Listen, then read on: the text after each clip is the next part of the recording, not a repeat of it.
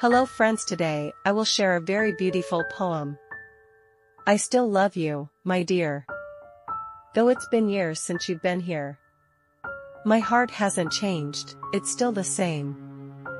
Filled with love for you, like an eternal flame. My days may pass by. But in my heart, you'll never die. Your touch, your kiss, still lingers on. And in my memories, you'll always belong. Just like a sky without any stars. My life without you, it feels so far. For you're the one who completed me. And without you, I'm just a broken melody. I still love you, with all my might, even through the darkest night. For our love was pure and oh so true.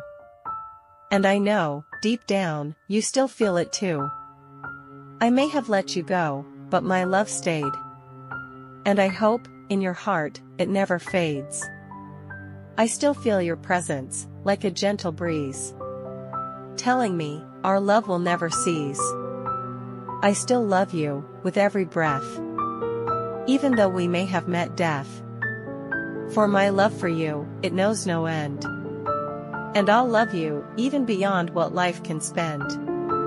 So my dear, please hear my plea. Open your heart and you'll see that even after all this time, my love for you still shines bright and sublime. I still love you with all that I am. For you are my forever, my beloved, my man. And though we may be apart, you'll always hold the key to my heart.